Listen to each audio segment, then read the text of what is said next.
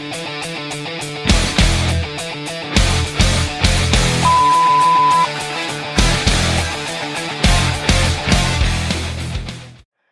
welcome to Rock and Metal Invasion. My name is Steve. Coming up on the show today, I'm doing a profile of songwriter Marti Frederiksen. So, Marti Frederiksen is a very prolific songwriter. He's worked with some of the biggest names in rock and metal. And today I thought I'd just go through and look at some of the artists he has worked in, uh, worked with, and also you know match that up with uh, some of the records in my collection that he has a songwriting credit on. Um, I've done a profile of a songwriter before. I did Desmond Child. Um, and I thought let's look at another songwriter who works with a lot of rock and metal artists, and uh, he is definitely one who has done that, and he's been doing it for quite some time now.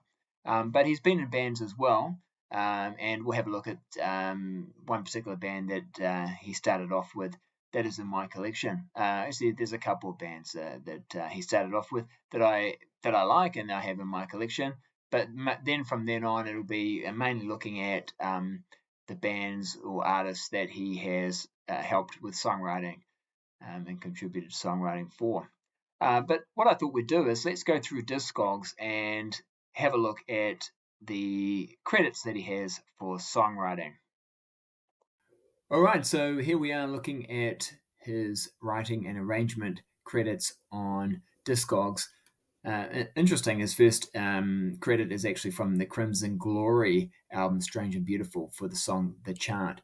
But what I uh, want to look at first of all is Outlaw Blood, and this is actually his band that he's actually in. So he actually is in this band. And yes, obviously he does the songwriting, but this is actually his band. Now, there's another band after that. Now, there's some songwriting credits here for the band Brother Cane, and that's going to come up in 1995. You can see that there. But also, then after he leaves Outlaw Blood, he uh, joins up Motherland, which I've talked about previously. Uh, I did a Lost Classic from the 90s where I talked about Motherland and their album Peace for Me.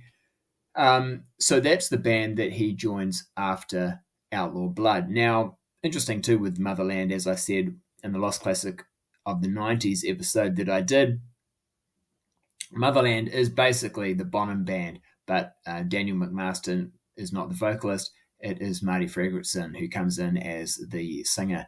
And interestingly, too, you know, in Outlaw Blood, he was not the singer, he was not the vocalist he was the guitar player. So, but he comes in on Mother, for the Motherland album um, as a vocalist.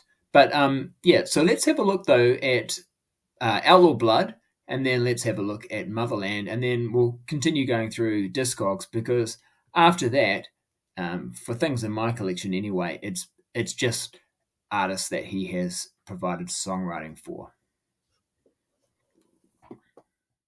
All right, so let's have a look at the Outlaw Blood album. So this is the album here. I've got it on vinyl. Outlaw Blood, released in 1991 on the Atco label. Here's the band at the back there. Um, I'm not actually sure which one is Marti. Um, I have a feeling that's probably him there. Um, I've seen recent photos of him, and but um, yeah, so I'm pretty sure that's him. Um, and yeah, he is the guitar player on this album is the vocalist uh, there. Mark McCoy is his name. Um, now, this album's actually produced by Jeff Paris, who put out a couple of, um, well, he's put out more than a couple, he's put out a few solo albums, but he's also, interestingly enough, probably more known as a as a songwriter, uh, providing, you know, he's written for other artists. Mr. Big is one that comes to mind.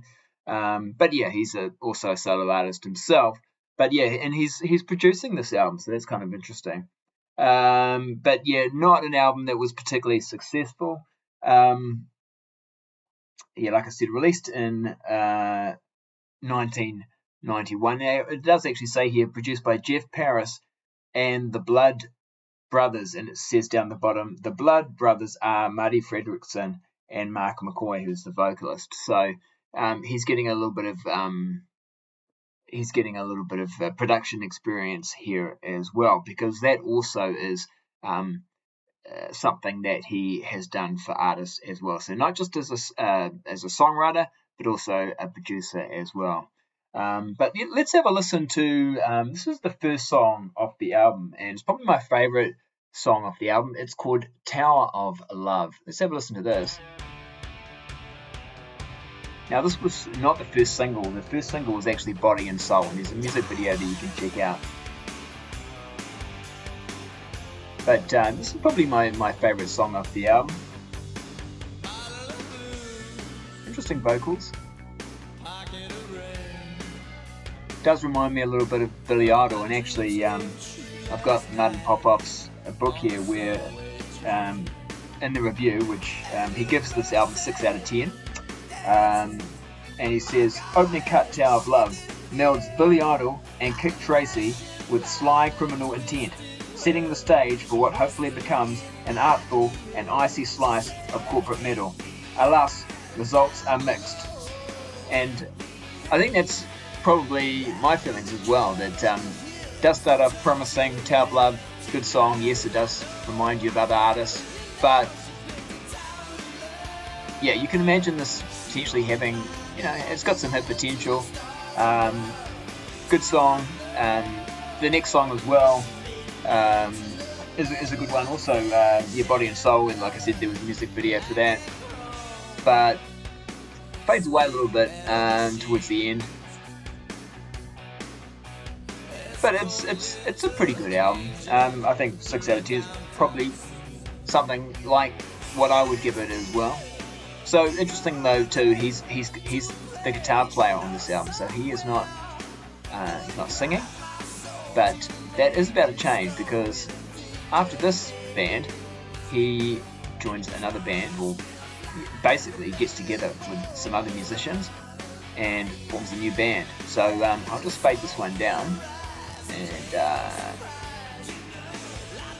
we'll move on now to what happens next. So, like I said, that was released in 1991, one and done sort of band and album.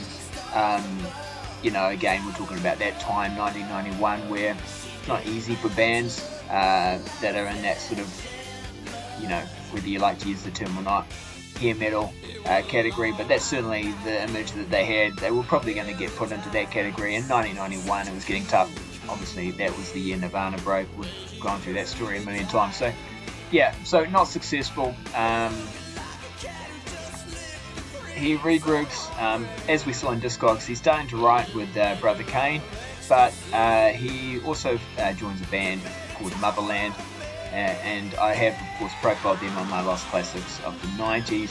So I won't go into too much detail, but of course, uh, as I did say uh, when I did that episode, that this is actually the Bonham Band. So this is the Bonham Band, but with Marti Frederiksen on vocals, um, Jason McMaster not on vocals. And it's a really good album. Um, some good songs on it.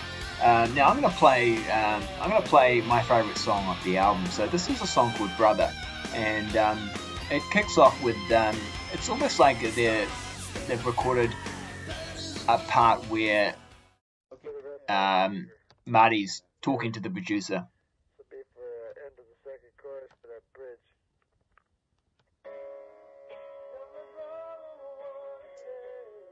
And it starts off very softly.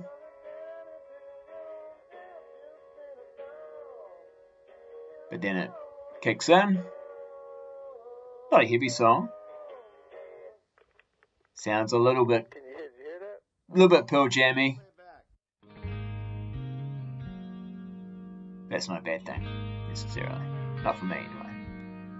It's definitely got grunge elements, and there's some some songs on here that they're definitely moving away from that sort of 80s hard rock sound um, or classic rock sound that Bonham had, more more that sort of 90s alternative grunge, mid 90s kind of sound, early 90s kind of sound that was becoming popular. But I've always liked this song.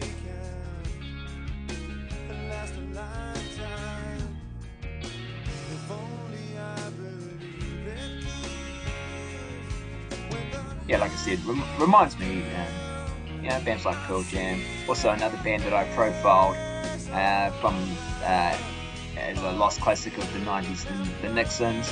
Reminds me a little bit of their song Sister. Which is interesting because the song song's Good Brother. total coincidence, but it kind of reminds me of that song.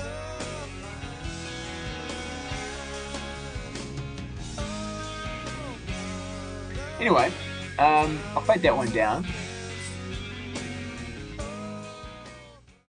And what what I'd like to do now is I'll go back onto Discogs and just have a look at what uh, Marti gets up to next because this band doesn't stick around for very long.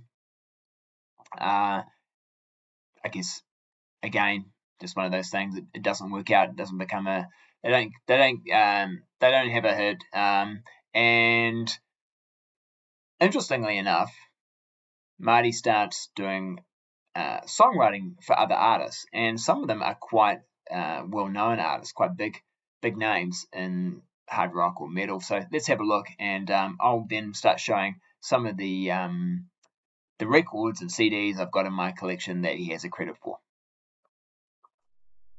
All right, so um, let's carry on looking at Discogs here. So um, on Discogs, and um, you can see that uh, we were at Motherland, Peace for Me, and then he's got a credit here working on the Brother Cane album, and he has lots of songwriting credits on that. But we're going to look at Brother Cane very soon. But let's move on and let's have a look at uh, Vince Neil, and this is his second solo album, and let's actually play a track from it. This uh, this song is called One Way. One of my favorite songs from the album, and he has done a lot of the songwriting on this album. Uh, also, um, the Dust Brothers are helping with songwriting and production, so it sounds quite industrial. It's not a it's not a fan favorite, definitely, but I actually really like it. Um, be one of my um, actually one of my favorite um, Motley Crue related albums. Um, I don't mind the sound at all. I think I think it's really good. Uh, I'd even go, go, so, go so far to say I prefer this album to his debut album. Um, but they're kind of hard to compare because it's quite a different sound. You know, in some ways, yeah, that first Vince Neil album is almost like this Lost Motley Crue album. Um, sounds like a classic sort of Motley Crue from the 80s kind of album. Uh, on this one, though, it sounds very much, uh, you know, like the sort of the kind of sound that was popular at the time. So, um, if you were expecting classic Motley Crue kind of sound, you would have ended up being a bit disappointed. But um, and yeah, it is really well, you know, maybe over overproduced. Um, I could say well produced, but maybe overproduced. Um, but um, yeah, I like the song and I like many of the songs on this album. But it wasn't successful, and I think part of the reason it wasn't successful is you know, he, he wasn't catering to his fan base. Vince Neil, Motley Crue fans, they, they wanted a Motley Crue kind of sound. They this industrial rock, uh, alternative rock type of sound. And, you know, this sound kind of, um, they kind of carried on with this a little bit um, on Generation Swine. Anyway, um, Marti Frederiksen, um, this is probably a big deal, a big break for him getting to write with Vince Neil. Um, and uh, even though it's not successful, you know, that's a, he's a great contact that he's made there because he does um, feature on future Motley Crue albums. But let's move on now, looking at uh, Discogs, let's move on now and have a look at um, there he is with Jeff, Jeff Paris, who of course who produced um, the um, Outlaw uh, Blood album. But um, moving on to um, well, here's Aerosmith, he's working, this was a big break for him. Oh, there's also Jason Bonham Band, so another connection there with um, Motherland, so he's uh, working with the Jason Bonham Band. Uh, but then he gets this big break working for Aerosmith because, and what supposedly happens is uh, John Kalodner comes up to him or contacts him and says, um, or initially he says, I'd like you to work with Jackyl. And um, he's not overly excited about that, but as he was hoping was going to be Aerosmith, but he says, "Yeah, okay, sure." Um, and then uh, John Kalodner contacts him a week or two later or something like that and says, "Actually, I'd like you to work with Aerosmith." Um, So uh, he's much happy about that, and uh, yeah, so he ends up um, working on the Nine Lives album here. And it's probably fair to say, you know, Aerosmith not that successful really from Nine Lives onwards. They having had a great run, they weren't as successful um, as what they had been. But um, I'm not saying Marti Frederiksen had anything to do with it, but um, yeah. Anyway, moving on to the next band I wanted to talk about, and it's uh, Brother Cane. So I'm going to uh, move on from Vince and put on next one. Uh, next song I want to play this is a song called Machete uh, by the, the band Brother Cane. And I've actually got it on vinyl. I got this. This is like a jukebox single. I like the song so much, and I noticed, oh, we can get on vinyl, so I grabbed it. So this is, uh, yeah, Machete. Um, and it's from the album. Uh, I've actually got the album, so I'll show you the album. From the album Wishpool. And yeah, Marti Frederiksen does uh, has a songwriting credit, uh, or has many songwriting credits, I think, on this album. But um, and he's worked, of course, on their previous albums as well. Uh, him and uh, Damon Johnson is one of the songwriters also, who does vocals and guitar in the band. I guess it's alternative rock, hard rock. Good song. So he's working um, working with them. You notice he, he's also worked with Ricky Sambora, and now he's got some a bit of a Bon Jovi connection happening there. Uh, working with the Scorpions. Not an album that is a fan favourite, eye to eye. Uh, connects up with Ratt and their 1999 album. Uh, has a songwriting credit for three songs on that album. Uh, I'd say that's probably the John Kalodner connection again, because John Kalodner had something to do with uh, Ratt reforming and putting out that album in 1999. Um, yeah, and he's got various artists here. Mick Jagger, that's a big name that he got to work with.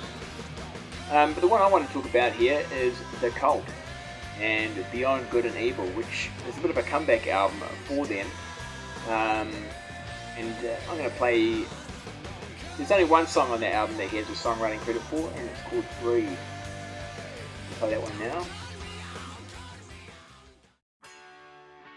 Not a super heavy song, but um, I quite like it. It's not definitely not one of my um, favorite songs off the album, but I think it's a really good album. This one, really good uh, return for the cult. Who pretty much I thought had called it quits they make a comeback in 2001 with Beyond Good and Evil, and it's a really strong album, I think. It wasn't super successful, but I think it's a good, good album. The song's also written by Mick Jones, so obviously you've got the guys from the Cult, um, but uh, and Marti Frederiksen, but also Mick Jones from, from uh, has a songwriting credit on this song. And interestingly too, Marti Frederiksen and Mick Jones uh, team up uh, to write songs for Foreigner's album. You'll see that coming up here on Discog. Now here's a huge name that he got to write with and work with, Ozzy Osbourne. Um, and I've actually got, uh, of course I've got that album. So let's, um, let's fade the cult down and let's go to Ozzy Osbourne. I'm going to play a song that I never had, uh, which is from this album. Was a single. Um, and definitely X, not uh, not a favourite of mine. To be honest, Def Leppard uh, really haven't done much for me since Slang, which I thought was okay. Uh, wasn't a big fan of Adrenalize. Hysteria I like. Pyromania is fantastic. Um, and yeah, as you can hear, the song's not not heavy. Um, just commercial pop rock, really. So Marti's coming in, just helping with the songwriting. But again, you know, all these artists he's working with, they used to be able to write songs without outside songwriters and, and, could do a good job. So I'm not quite sure why Def Leppard felt they needed to um, get an outside songwriter, but um, I guess I've worked with Mutt Lange and a few other songwriters in the past. But anyway, this is the song now. Now he actually works with Bon Jovi on on the Bounce album, but it's interesting because none of his songs actually make the album. So he has the songwriting credits for some demos, and they're on the Everyday. Let's see here, Everyday, the CD single. So he does have songwriting credits for the CD single, uh, the B-sides, but actually none of his songs I think made the album Bounce. But there we go. There's another huge name Bon Jovi has worked with. Of course, as we saw before, he worked. He did work with Ricky Sambora. Um, oh, now just two. Um, I do have now on vinyl, but not because I've got the album, but because I've got the best of um, Volume 2. I do have the song on vinyl, but it's through a compilation. Um, not that interested in the album. But um, this, and again, this, this this was something I felt was worth picking up just for. But some of those songs that off those albums, I'm maybe not that fussed about, but there's maybe one or two good songs on the album that are worth having. Um, right, so anyway, um, let's see, what are we up to? Yeah, Ozzy again, there's Def Leppard. So we're in the early 2000s now. And, um, yeah, nothing nothing here coming up that's actually in my collection. Worked with Paul Stanley, so huge names that he's worked with. Buck Cherry, now he's, like I said before, he's just produced and written um, their latest album that just came out this year. So he's still working with them. Um, Scorpions again.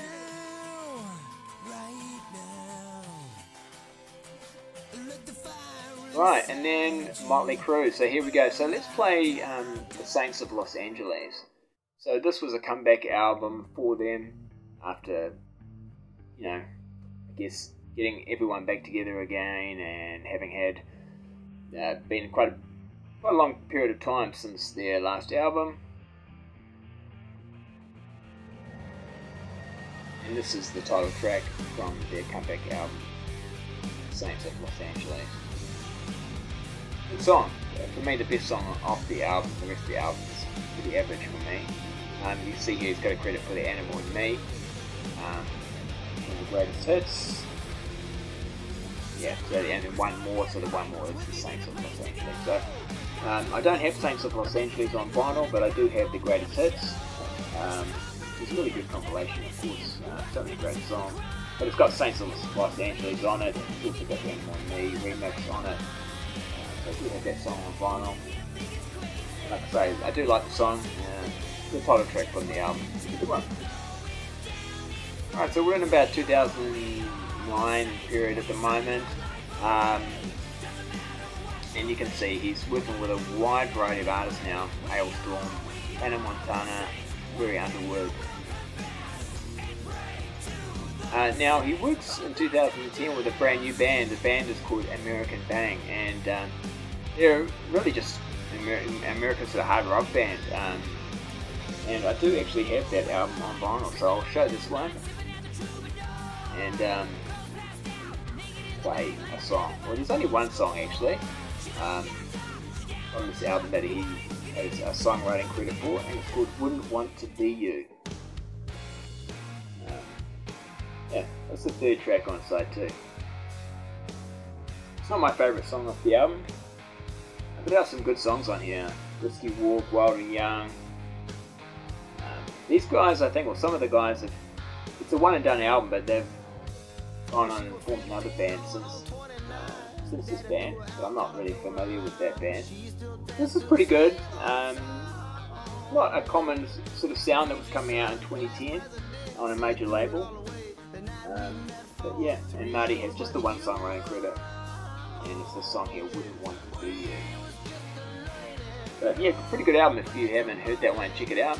And like I say, they've got some of the guys in that band are, are, uh, still performing, but uh, with a, in a different band.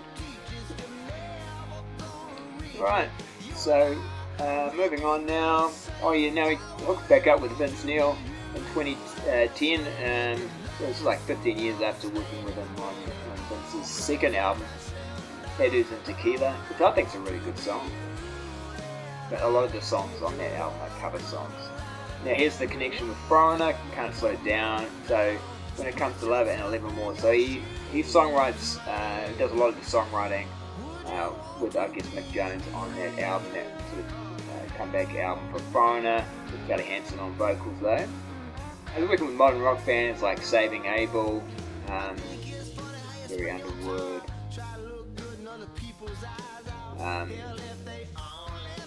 Daughtry, even Black Veil Brides is working with. A lot of guys who've been on American Idol or shows like that. Like, so David Cook, James Durbin, um, Three Doors Down. Okay, so now we're just going to move to the next page here. So he has a lot of songwriting credits. And keep going down through here. So he's back with Aerosmith on their Music from Another Dimension album. And we'll just zip through this because I don't actually have too much more to show from my collection that he has, or from bands that he's worked with. Here has the, the album I showed before, also about the best of it. There's that song on. Uh, but this is one I do have. Uh, Orianthi. Um, Sorry and Eight More. So he worked, put that one on. So I'm going to play the song, my favourite song of, this, of that album, I think. Um, slow one, Falling Out of the Dark, but I think it's really good. And this is the album here, Orianthi. Orianthi? I'm sure if I'm saying it right, but this album really surprised me. I did not think I would be buying it, but um, I really like it. And yeah, he Marti Frederiksen does a lot of the songwriting on it. Came out on Frontiers and uh, 2020. I can imagine this could have had definitely had hit potential. I'm not sure if it was released as a single or not, but um, it's a good song.